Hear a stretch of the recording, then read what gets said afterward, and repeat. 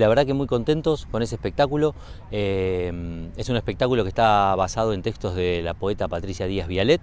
Estrenamos en el Teatro Español el fin de semana pasado, la verdad que con la sala llena, muy contentos con eso.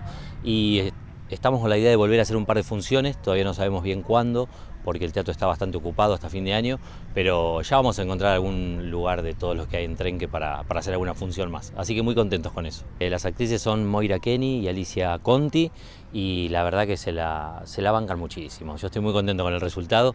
Ensayamos mucho, empezamos a trabajar en pandemia, al principio hacíamos ensayos por Zoom, leíamos por Zoom, después cuando pudimos empezar a juntarnos empezamos a ensayar presencialmente y nada, el domingo fue un, un estreno la verdad que mucho mejor de lo que, de lo que esperábamos. La gente acompañó como siempre y, todo salió muy bien. Así que ahora tenemos ganas de, mostrarla lo más posible.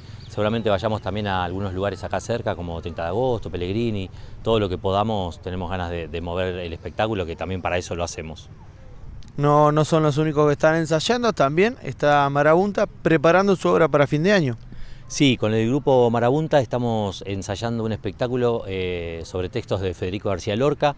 Eh, tomamos textos de varias obras y que fundamentalmente hablan de la vida de los pueblos, eh, de la vida en los, pueblos chicos, en las ciudades chicas, y teníamos ganas de, trabajar esa temática, de poder eh, agarrar un autor como, este autor español, tan grande, tan importante para el teatro y para la literatura universal, y, y con eso laburar. Así que estamos trabajando mucho, lo estamos armando todavía, es un espectáculo grande, eh, donde hay...